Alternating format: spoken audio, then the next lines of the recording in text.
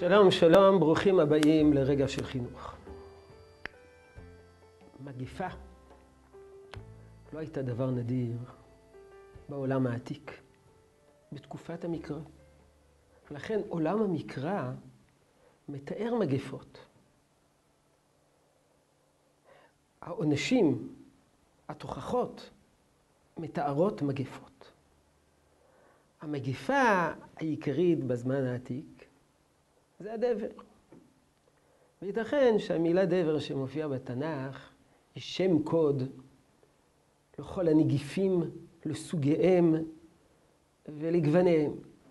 כאשר הנגיף המרכזי בעולם העתיק היה הדבר.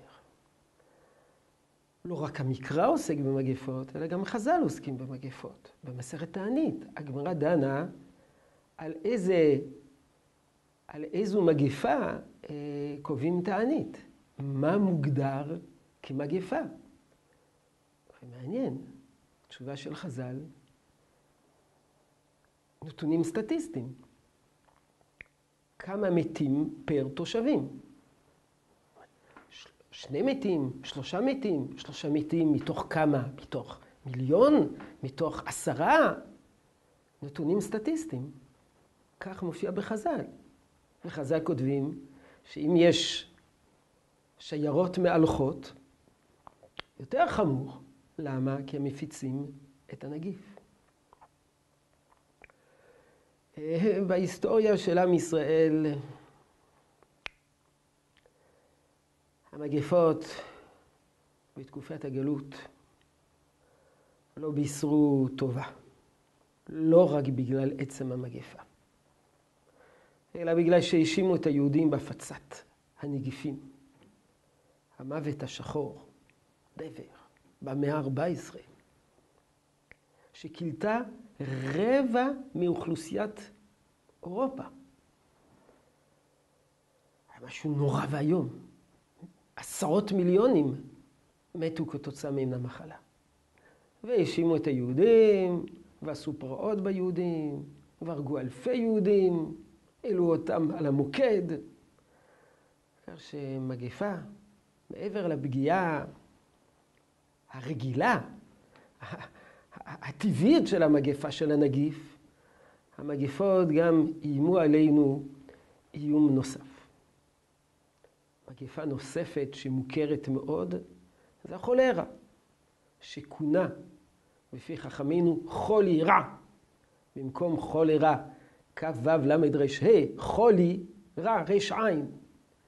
יש מכתב מפורסם של רבי עקיבא איגר, שכותב לתלמידו רבי לאו גוטמכר בשנת 1831 כל מיני הדרכות. מה לעשות? כיצד להתגונן מפני החולרה ושלא יתפשט יותר.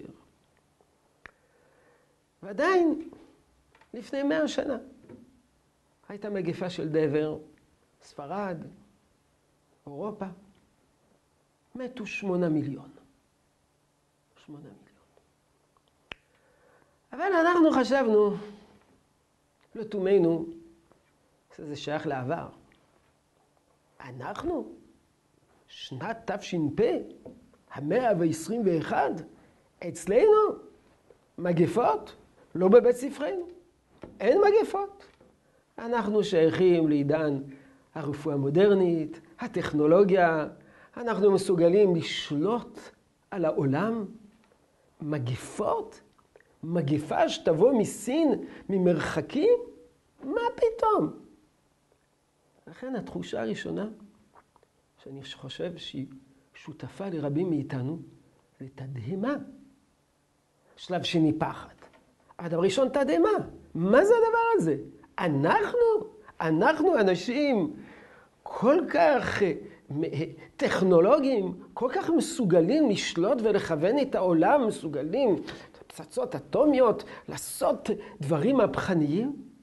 ואנחנו פה מול איזה נגיף קטן שהתחיל באיזה בעל חיים, דרך אגב גם הדבר מתחיל מנגיף, ראשיתו בנגיף שבבעלי חיים, ונגיף שבא מסין, ואנחנו פתאום מתגוננים, בידוד, אין חיסון, אין תרופות, בסך הכל להתמגן, להסתתר בתוך הבית, כמו מלפני אלף שנה ואלפיים שנה.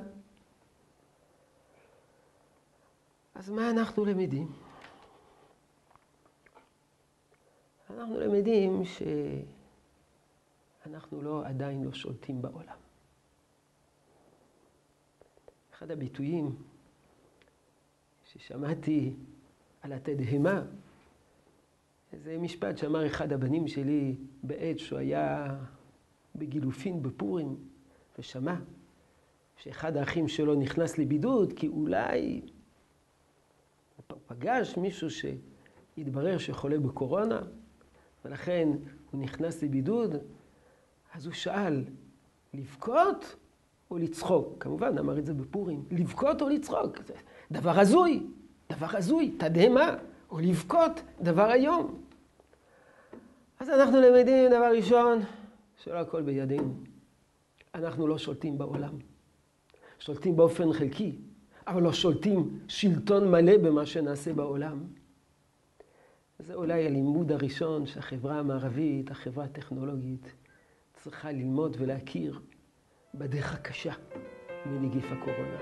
אבל מה המשמעות הרוחנית הנוספת? אז זה בעזרת השם.